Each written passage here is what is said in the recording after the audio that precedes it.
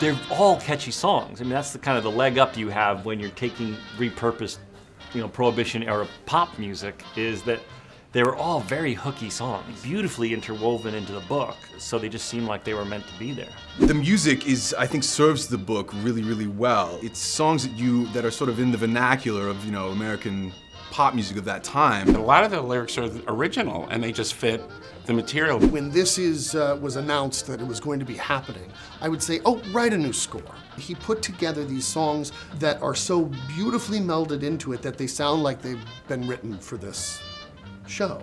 It reminds me of so many musicals that I that I love, and I think that people are going to love coming and seeing this new big splashy Broadway musical with great songs, great cast.